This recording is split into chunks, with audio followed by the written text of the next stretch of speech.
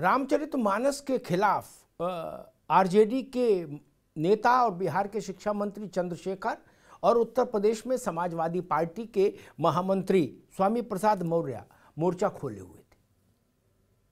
बार बार मांग की जा रही थी कि रामचरित मानस में बहुत सारी चीज़ें ऐसी हैं जिनको स्वीकार नहीं किया जा सकता, उनको बदला जाए, उनको हटाया जाए।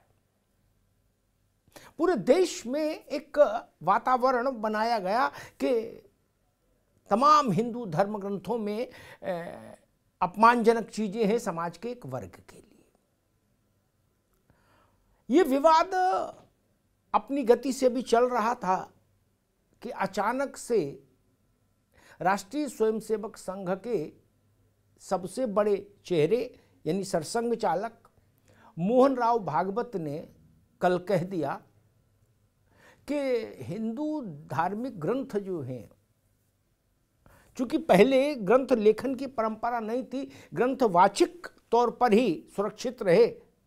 फिर उसके बाद में जब लेखन आया तो भागवत जी के मुताबिक कई स्वार्थी लोग भी उस दौर में आ गए और उन लोगों ने ग्रंथों में यत्र तत्र तमाम आपत्तिजनक चीज़ें लगा दी, जोड़ दी।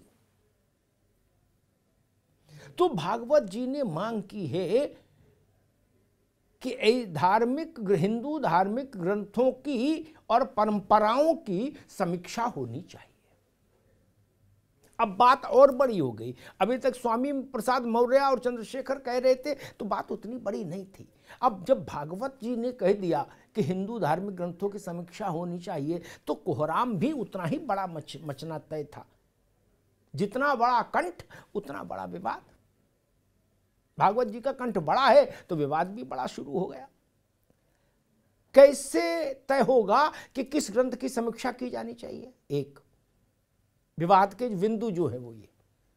कौन करेगा समीक्षा? एक के लिए आपत्तिजनक है, दूसरे के लिए सामान्य जो वो चीज़ अच्छी हो सकती है, तब फैसला कौन करेगा? और लाख टक्के का सवाल कि लेखन परंपरा से लेखन के आविष्कार से पहले के और धार्मिक ग्रंथ जो होंगे धर्मों के, क्या उनमें भी समीक्षा का अभियान चलाया जाएगा? या वो यथावत मान्य होंगे, केवल हिंदू धार्मिक ग्रंथों में समीक्षा का अभियान चलेगा? ये बड़ा सवाल है। अब देश में इस पर विवाद भी होगा और मंथन भी होगा कि आखिर भागवत के कहने का मतलब क्या है। आज शाम पाँच बजे रहेगा मेरे साथ।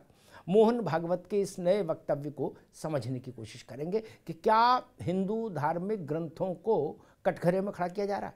शाम को पाँच बजे रही मेरे साथ।